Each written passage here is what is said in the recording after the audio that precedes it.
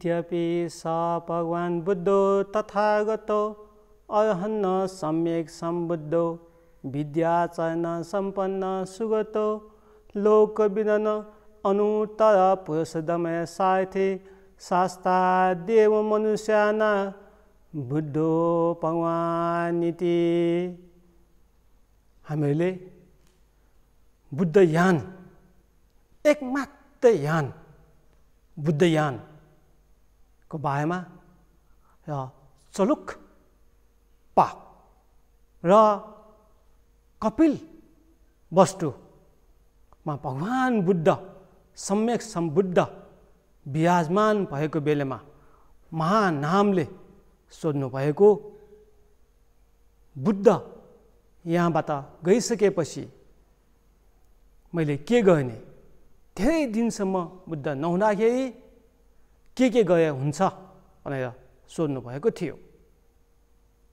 त्यसबेला भगवान् बुद्धले पञ्च इन्द्रिय पञ्च इन्द्रिय भनेको श्रद्धा इन्द्रिय त्यसपछि जुन वीर्य इन्द्रिय स्मृति इन्द्रिय र समाधि प्रज्ञा इन्द्रियको बारेमा बताउनु भएको थियो। र मिथ्या दृष्टि सम्यक दृष्टि केले छुटाउँछ त? भन्दाखेरि प्रज्ञा शराबले छुटाउँछ। यो अङ्गुटे निकायको एक निपाटमा बताएको छ। एक निपाट भन्दा पनि यो दुई निपाट दुई निपाटमा बताउनु भएको छ। सम्यक दृष्टि र मिथ्या दृष्टिको बारेमा। सम्यक दृष्टि राम्रो भयो भने हामीहरूले बज्यान जस्तो घन अभिषेक लिन सजिलो हुन्छ। किन भन्दाखेरि धेरै बुझ्नुपर्ने र धेरै कुरा थाहा पाउनु पर्ने भएको हुनाले प्रज्ञा राम्रो भयो भने सबैभन्दा उत्तम हो। श्रद्धाले पनि लिन सकिन्छ र श्रद्धाले ग्रहण गर्नु र प्रज्ञाले ग्रहण गर्नुमा धेरै अन्तर हुन्छ। र अष्टाङ्गिक मार्गमा पनि सम्यक दृष्टिको बारेमा बताउनु भएको छ। सम्यक दृष्टि भनेको मार्ग छुटाउने। श्रावक यानको मार्ग महायानको मार्ग भनेर छुटाउन पनि सक्छौँ। श्रावक यानको मार्ग अप्नाएर अभ्यास गर्दै जानुभयो भने हर्ट हुन्छ भने महायानको मार्ग अप्नाएर अभ्यास गर्दै जाँदाखेरि सम्यक सम्बुद्ध हुन्छ। र एउटै जुनीमा पनि र आए भन्न सकिन्छ। जुन चलुक पा। उहाँलाई मैत्रीपा उहाँ मैत्रीपाको जन्म वास्तवमा कपिल वस्तुमै भएको थियो। उहाँले अभिषेक दिएर नारी चक्रहरूको र इदमहरूको अभ्यास गरेर नौ वर्षसम्म अभ्यास गरिसकेपछि उहाँ चाहिँ एनलाइटमेन्ट प्राप्त गर्नुभएको थियो। आए हुनुभएको थियो। र अङ्गुट निकायमा पनि जुन आर्य हुने तरिका धेरै किसिमले बताउनु भएको छ जस्तै कि बुद्धान स्मृति गएर र अङ्गुटे निकायको जुन एक निपाट धर्मपाली अठान पाली प्रथम बग्गोमा पनि बुद्धानुस्मृति धर्मानुस्मृति सङ्घानुस्मृति र त्यागानुस्मृति शिलानुस्मृति कायागतानुस्मृति मयनानुस्मृतिहरूको बारेमा देवानुस्मृतिहरूको बारेमा बताउनु भएको थियो भगवान् बुद्धले। र यी अभ्यास गरेर हामीले ग्रहण गरेर बुद्धिस्ट आए हुने अर्थ पनि हुनसक्छ भने वज्यानको पद्धति अनुसार अभिषेक लिएर र अभिषेक अनुसार उत्पत्ति क्रम सम्पन्न क्रमको अभ्यास गरेर शून्यताको बोध गरेर समर्थको अभ्यास मिलाएर जाँदाखेरि एउटै जुनीमा र कोही नौ वर्ष कसैलाई लाग्यो भने कसैलाई बाह्र वर्ष अहिलेको कलियुगको समयमा धेरै पाप कर्म धेरै भएको समयमा धेरै वर्ष पनि लाग्न सक्छ पन्ध्र वर्ष बिस वर्ष पनि लाग्न सक्छ। भने कोही व्यक्तिलाई यही जीवनमै मुक्त हुन नपाए अर्को जीवनको लागि टेवा दिन्छ अर्को जीवनमा मुक्त पनि हुन्छ। यो जीवनमा कुनै पनि पाप कर्महरू गर्नु भएन कुशल कर्म मात्रै गर्नुभयो भने अर्को जीवनमा धेरै सजिलो हुन्छ। भगवान् बुद्धलाई सोध्नु भएको थियो एकजना उपासिकाले जुन सबैभन्दा सजिलो बुद्ध धर्म के हो स कसरी बताइदिनुहुन्छ कसरी ग्रहण गर्न सक्छौँ? धेरै श्लोकहरू धेरै शास्त्रहरू सूत्रहरू नपढिकन एकदमै छोटोमा र भगवान् बुद्धको उपदेश पनि धेरै ग्रहण नगरिकन एक दुई लाइनमा बताइदिनुहोस् भनेर भगवान् बुद्धले अनुरोध गर्दाखेरि भगवान् बुद्धले सर्व पापस्स अकर्ण कुशस उपसम्पदा सचित्त पयोदपन यत बुधान शासन भनेर भगवान् बुद्धले भन्नुभएको छ। सर्व पापस्स अकर्ण कुशस उपसम्पदा कुनै पनि पापकर्म नगर्ने काय वाक चित्तले कुशल कर्म सबै गर्ने शरीरले पनि गर्ने बोलीले पनि गर्ने मनले पनि सबै गर्ने सर्व पापस अकर्ण कुशल छ उपसम्पदा कुशल सबै गर्ने लास्टमा सचित्त पयो दपन। यही नै हो कि आफ्नो चित्तलाई दमन गर्नु आफ्नो चित्तलाई तालिम गर्नु समता अभ्यास गर्नु सिने अभ्यास गर्नु कसिन अभ्यास गर्नु र विपसना भावना गर्नु। यही नै बुद्ध धर्म हो भनेर भगवान् बुद्धले बताउनु भएको छ। यही नै बुद्ध शासन हो भनेर बताउनु भएको शासन भनेको टेम्पा बुद्ध साङ्गे। साङ्गेको टेम्पा बुद्धको शासन यही नै हो भनेर भन्नुभएको छ। भने जुन उहाँ चलुकपाले अभ्यास गर्दाखेरि उहाँले समत र विपसनै अभ्यास गर्नुभएको हो न कि अन्य कुनै अभ्यास।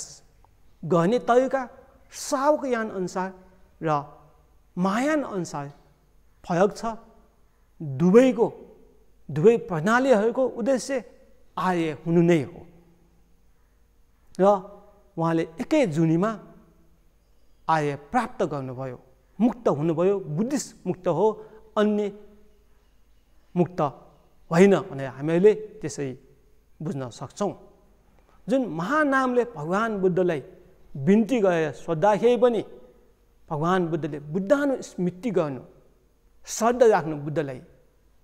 धेपा बुद्धको शासनलाई जुन श्रद्धा गर्नु विश्वास गर्नु बुद्धानु स्मृति बुद्धको धर्मलाई श्रद्धा गर्नु धेपा बढाउनु र सङ्घलाई अनुमोदन गर्नु सङ्घको कार्यक्रमहरूमा भाग लिनु।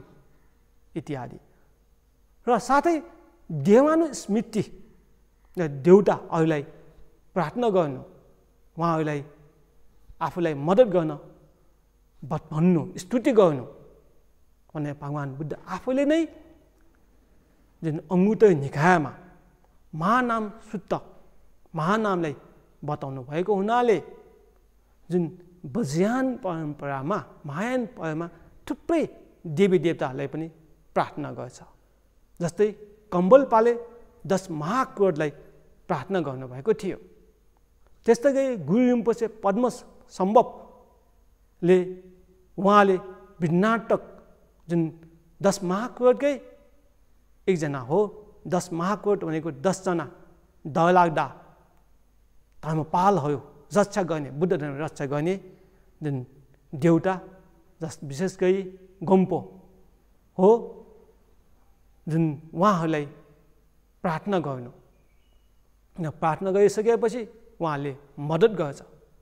श्रावकयान थेवादमा चतुर महाराजिकाहरूले बढी प्रार्थना गर्ने चलन छ भने महायान बजयानमा बोधिसत्वहरूलाई पनि प्रार्थना गर्ने चलन छ। बोधिसत्वहरू भनेको विशेष गरी अष्ट बोधिसत्वलाई लिन्छ र आठजना मुख्य बोधिसत्वलाई लिन्छ प्रज्ञाको प्रतीकमा को रूपमा मञ्जुश्री मञ्जुश्री महामञ्जुश्री नाम सङ्गीति उहाँ पनि धेरै रूपका हुनुहुन्छ भने लोकेश्वर पनि एक सय आठजना धेरै लोकेश्वर हुनुहुन्छ। र त्यस्तै गरी वज्र पानी बजिज पानी पालीमा पनि अम्बट सुत्तमा आएको थियो। दिग निकायमा अनुसार दिग निकायमा अम्बट सुत्तमा भगवान् बुद्धलाई जुन रच भगवान् बुद्धलाई बाधा पुर्याएको हुनाले बाधा हटाउनुको लागि आएको थियो यो पनि हामीले थाहा पाइसकेँ। त्यस्तै आकाश गयो भयो क्षितिज गयो भयो दुर्गतिमा परेका कोही व्यक्तिहरूलाई अथवा कोही व्यक्ति मोयो भने उहाँको नाम जप्यो। उहाँलाई प्रार्थना गर्नुभयो भने भएको तिन हजारचोटि मन्त्र जप्ने चलन छ। उहाँले सुगतितिर पुर्याइदिन्छ। सुखावती र सुगतिमा फरक छ। सुखावती भनेको यो प्योर ल्यान्ड हो। चाहिँ जुन सुखावती भोने बास ल्यामा भनेर अमिताभ बुद्ध सम्यक सम्बन्ध विवाज विराजमान भएको ठाउँमा हो भने सुगति भनेको मनुष्य लोक र देवलोक र अथवा असुर लोक पनि गनिन्छ। उहाँले सुगतिमा सजिलै पुर्याइदिन्छ समन्तभद्र बोधिसत्व। उहाँको जुन बसठीवटा पाठ गर्ने चलन छ रोग भएको ठुल्ठुलो रोग लागेको व्यक्तिहरूको नाममा पनि गर्न सकिन्छ भने मरिसकेको व्यक्ति पनि सुगति जाउन् सुखावतीतिरै जाउन् भन्ने आशय लिएर सङ्कल्प गए पनि उहाँको पाठ गर्ने चलन छ। समन्तबद्ध बोधिसत्व जुन यो सदर्म पुण्डरिक वैपुल्य सूत्रमा उहाँको एउटा अलग्गै च्याप्टर छ। भैषज्य बुद्ध मेडिसन बुद्ध मेलाम साङ्गे। मेलाम भनेको यो मेडिसन साङ्गे भनेको बुद्ध। उहाँको च्याप्टर पनि राम्रोसँग बताएको छ। समन्तबद्ध बोधिसत्व। त्यस्तै गरी यो सर्वन्यून विस्कम्बी र भविष्यमा आउने मैत्रीय बुद्ध।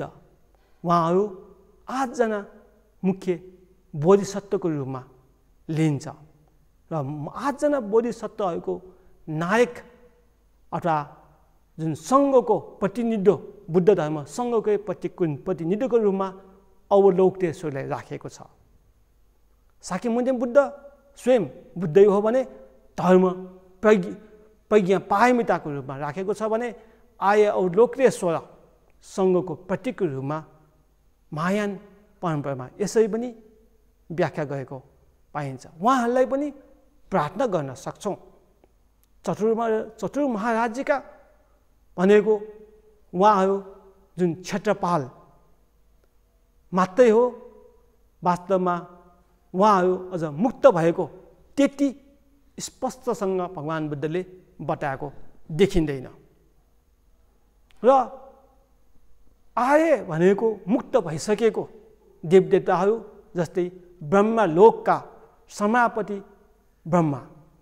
समापति ब्रह्मा भगवान् बुद्धलाई पहिलोचोटि अदेशना गर्ने ब्रह्मा उहाँ आर्य थिए मुक्त भइसकेका थिए भने शक्र पन्न सुत्त। शक्र जुन इन्द्र उहाँ पनि मुक्त भएका नै हुनुहुन्छ। भगवान् बुद्धकै उपदेश लिएर संज्ञाको भावना संज्ञा भनेको नाम दिने यो मोबाइल यो क्यामेरा यो कोयना भने नाम दिने। यसमा अनित्य दुःख अनात्माको भावना गएर उहाँ मुक्त भएको भनेर भगवान् बुद्धले नै आफैले बताउनु भएको छ। उहाँहरूलाई हामी प्रार्थना गर्न सक्छौँ। चतुर महाराजीका लागि मात्रै होइन कि कयौँ धर्मपाल कयौँ डाकिनी कयौँ बुद्ध कयौँ बोधिसत्वहरूलाई नै प्रार्थना गर्न सक्छौँ। देवानु स्मृतिमा चाहिँ पाठ गर्नु पुकार्नु भने भगवान् बुद्ध आफै स्वयंले नै जुन अनुस्मृति जुन महानामलाई बताउनु भएको थियो र सदाका साथ प्रार्थना गर्नु वीर उत्साहका साथ प्रार्थना गर्नु र समाधि लाभ गर्नु समाधि चुटकी भएमा समाधि जान सक्ने चुटकी भएमा समाधिबाट निस्किने भनेर भगवान् बुद्धले नै त्यस्तो व्यक्ति सबैभन्दा उत्तम भनेर बताउनु भएको छ। यो पनि अङ्गुत निकायमै छ। राष्ट्रको पिण्ड व्यक्तिहरूले दान दिएको खानु र त्यो आफैले केही काम गएन उनीहरूलाई योगदान दिएन भने पाप हुनसक्छ भनेर भगवान् बुद्धले ठाउँ ठाउँ सूत्रमा बताउनु भएको छ। विशेष गरी दान लिने व्यक्तिहरूलाई भन्नुभएको हो। राम्रोसँग सिन पालन गरेको छैन भने दान तिनीहरूको लागि फलामको ढुङ्गा खानु जस्तै हुनसक्छ माटो खानु जस्तै पचाउन गायो हुनसक्छ। त्यही भएर दान लिने व्यक्तिहरूलाई चाहिँ बताउनु भएको हो। र कस्तो व्यक्तिले योग्य छ त? भनेर यी अङ्गुत निकायको एक निपाट अच्छा बगो शुद्धमा चुटकी भएमा समाधिमा प्रवेश गर्ने प्रथम ध्यानमा प्रवेश गर्ने र प्रवेश गएर चुटकी भएमै निस्केर आइसकेको हुनुपर्छ। भनेको मतलब आँखा छिमिक्क गएको बेला समाधिमा गएर समाधिबाट बाहिर आइसकेको समाधिबाट जागेको हुनु पर्छ भनेर भन्नुभएको हो। त्यस्तै गरी चुटकी बजाउँदाखेरि समाधिमा गएको र आइसकेको हुनुपर्छ। आँखा झिमिक्क गर्दाखेरि समाधिमा जाने र समाधिमा फर्किसकेको। समाधि भनेकै रिल्याक्स भइसकेको माइन्ड च्याप्पै। त्यस बेला पञ्चन्यूनहरू हुँदैन। दीर्घ निकायमा पनि महासती पठान सूत्रमा बताउनु भएको छ पञ्चन्यूनको बारेमा। व्यापार क्रोध ठोवा मोह सेढाङ मोह माइकपा द्वेष सेढाङ यसै जुन व्याख्या गरेको छ यो मन अचुट्य जुन जुन मन चञ्चल भइराख्नु अद्वितीय कन्दुत्य। र शरीरको पाएपन स्थान मिद्र यो पञ्च निवन यो नभएको अवस्था। र चित्त कुशल कर्म विपाक भएको अवस्था। समाधि भनेकै चित्तमा कुशल कर्म विपाक भएकै हुन्छ त्यस बेला र ध्यानाङ्ग स्पष्टसँग आएको हुन्छ। यसै क्रमबद्ध किसिमले अयुब ध्यानसम्म पनि पुगिएको हुन्छ। भने र त्यसपछि विपसना गर्दाखेरि चाँडै नै लाभ हुन्छ। चाँडै नै जुन अनित्य दुःख अनात्माको बोध हुन्छ भनेर भगवान् बुद्धले बताउनु भएको छ। अहिलेको मनोवैज्ञानिक अनुसार साइकोलोजी अनुसार पनि मन शान्त भयो भने अरूलाई पनि प्रभाव पर्छ। जो व्यक्तिको मन शान्त छ ती व्यक्तिको अगाडि अरू व्यक्ति आउँदाखेरि पनि शान्त हुन थाल्छ। उसले पनि शान्तिको महसुस गर्न सक्छ। र समाधि भनेको समाधिमा प्रवेश गर्दाखेरि अत्यन्त शान्त अल्फा वेब र जुन डेल्टा वेबतिर जाने हो। अल्फा वेब थिता डेल्टातिर जुन मन शान्त अवस्थामा पुग्नुभयो भने आफ्नो शरीर मन मात्रै राम्रो होइन कि अरूलाई पनि टेवा दिइराखेको हुन्छ। भन्ने हिसाबले नै भगवान् बुद्धले जो व्यक्ति कमसेकम समाधिमा प्रवेश गर्न सक्छ भने उसले दान लिन योग्य छ भनेर बताउनु भएको हो। र समाधि लाभ गर्नु भनेकै केही हदसम्म शिर राम्रो भइसकेको व्यक्ति हुन्छन्। र तर बज्यानमा जुन समय जुन मुलापट्टि भएको कुरा अलिकति गहिरो छ यो बुझ्न गाह्रो छ त्यति सजिलो छैन। सावक ज्ञान धेरै सजिलो छ वास्तवमा भन्ने हो भने। अहिकैतिर जान्छौँ। चुट्की बजाउँदाखेरि फेरि दोस्रो ध्यानमा प्रवेश गरेर आइसकेको हुनुपर्छ। त्यस्तै गरी चुट्की बजाउँदाखेरि चित्ते ध्यानमा जाने फगिसकेको हुनुपर्छ। त्यसै हरेक ध्यानमा यसै नै गएको व्यक्ति उत्तम हो श्रेष्ठ हो। त्यस्तो व्यक्तिले खासै पाप कर्महरू त्यति गइँदैन पनि भन्न हामी सक्छौँ।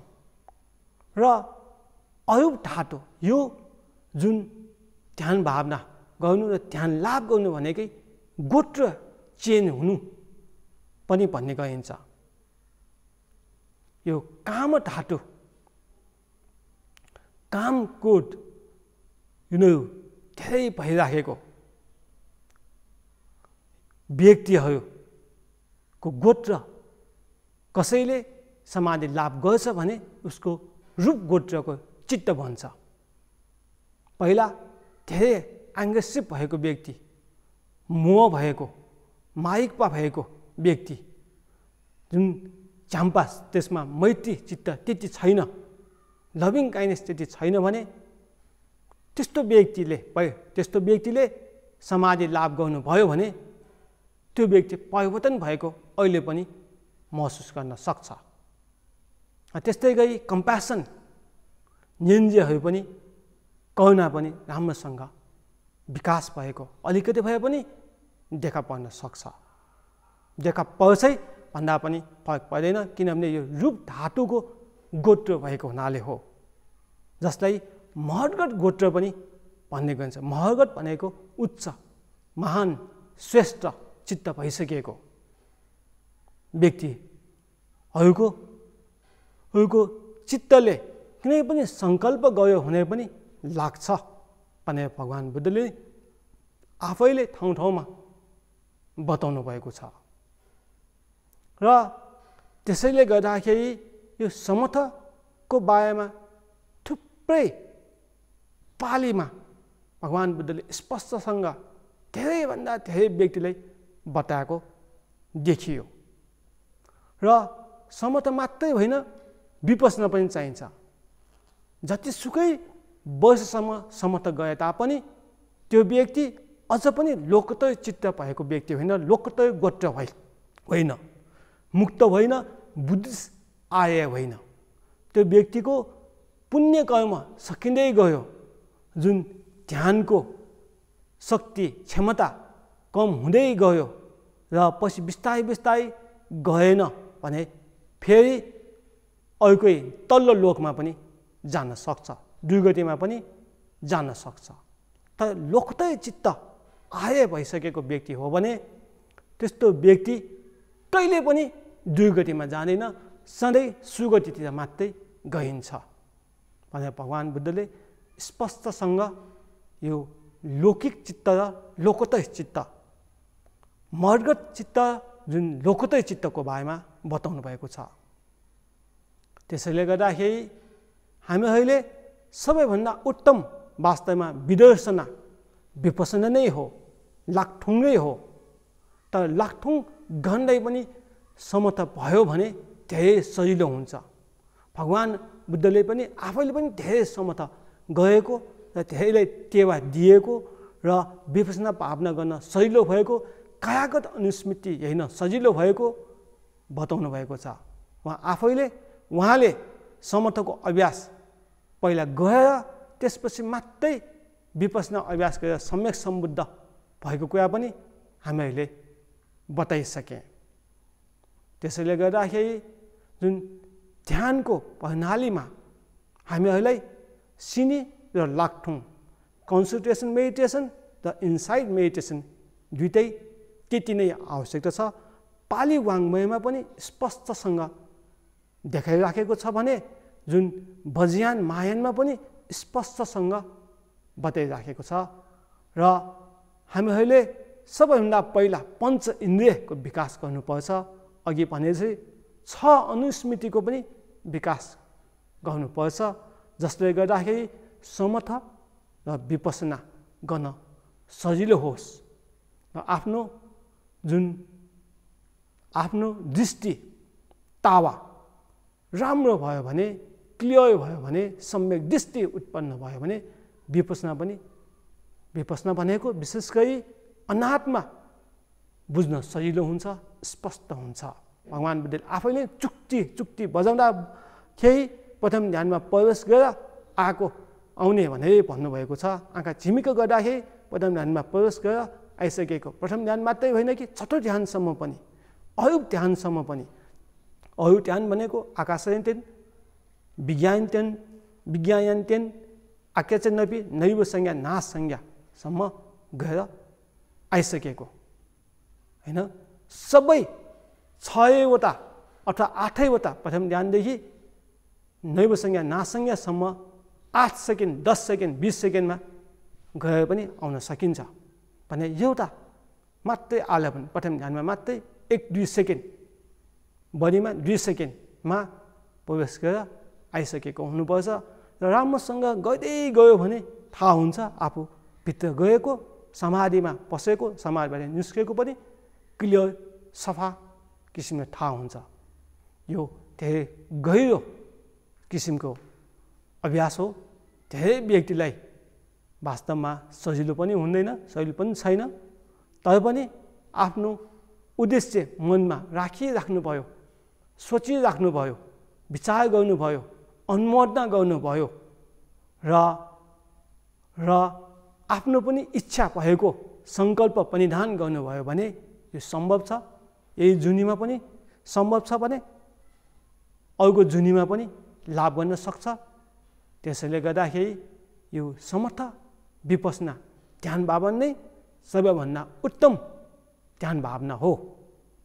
भन्ने आज समर्थको अलिकति भए पनि हामी अभ्यास गर्छौँ। समर्थ गर्ने तरिका बुद्धको मूर्ति अगाडि छ भनेर कल्पना गर्न सकिन्छ अथवा बुद्धको मूर्ति अगाडि राखेर एकछिन हेर्न सकिन्छ। जसलाई बुद्धान स्मृति पनि भन्न सकिन्छ र समर्थको आलमन कसिन मानौ कि बुद्धको मूर्ति अगाडि छ? मूर्तिमा मन राख्यो अनि रह्यो। सिद्धै पनि गर्न सकिन्छ। कोही व्यक्तिको मन शान्त भइसक्यो भने शान्त भएको छैन भने चाहिँ मन शान्त गर्नुपर्छ पहिला अनि मात्रै गर्नुपर्छ। शान्त भइसकेको व्यक्तिले सिधै बुद्धको मूर्तिमै ध्यान भावना गर्न सक्छौँ। मानौँ कि बुद्धको मूर्ति छ मूर्तिमा मन राख्यो। राखेर बस्यो। राखेर बस्दाखेरि मन आनन्द भएर आउँछ। जिउ फराकिलो भएको जस्तै मन खुल्ला हुँदै जान्छ। यही खुल्लापनमा दिनभरि रहनु राम्रो हुन्छ। र लोभ चित्त नराखिकन द्वेष चित्त सेधाङ नराखिकन कोट ठोवा नराखिकन लभिङ काइनेस मैत्री करुणा मनमा भगवान् बुद्धमा भएको जस्तै आफूले पनि महसुस गरेर दिनभरि रहनुभयो भने धेरै नै राम्रो हुन्छ भन्दै आज यही विश्राम गर्छु र परिणामना सधैँ गर्नु उत्तम हो कुनै पनि पुण्य कर्म आफूले गर्नुभयो भने त्यसको परिणामना गर्नुपर्छ पालीमा परिणामना गर्न सकिन्छ। वा टिबिडियन भाषामा स्वनाम देही यो पुण्य भनेर गर्न सकिन्छ र संस्कृतमा गर्न सकिन्छ इङ्ग्लिसमा गर्न सकिन्छ परिणाम गरौँ यत साधन पुण्येन सर्वे सयुगधा पदम प्राप्तवन्तु जयन्तु चा कुशलम कर्म भैनम जन्म मृत्यु जराव्याधि स्वरूपावित पुहितास मोच्याम सरस्वता न दुर्गमान्द भवसागरा